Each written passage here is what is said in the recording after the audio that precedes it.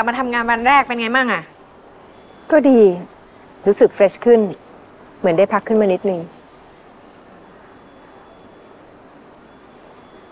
ขอบใจมากนะที่มาช่วยรักษาการแทนให้อะ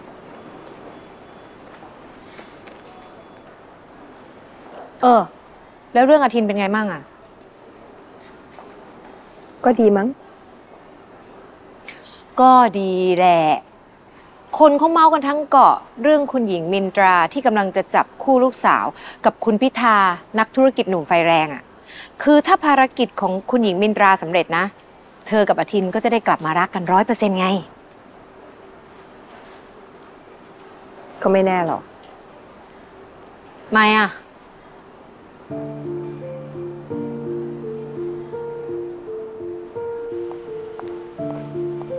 คุณเคสครับ มีของมาส่งครับ อะไรเหรอคะ เป็นดอกไม้ครับ มีคนนำมาฝากมาให้ครับ ขอบคุณค่ะ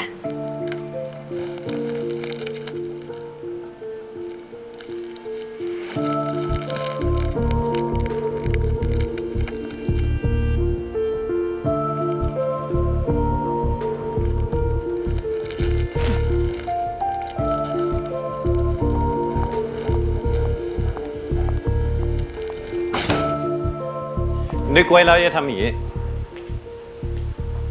นี่ไงผมก็เลยซื้อมาให้อีก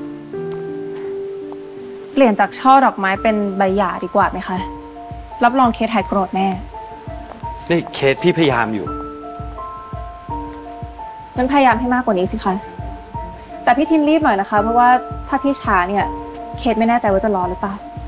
เฮ้ยเคสมาคุยกันดีๆก่อนไม่ได้เหรอ ฮะ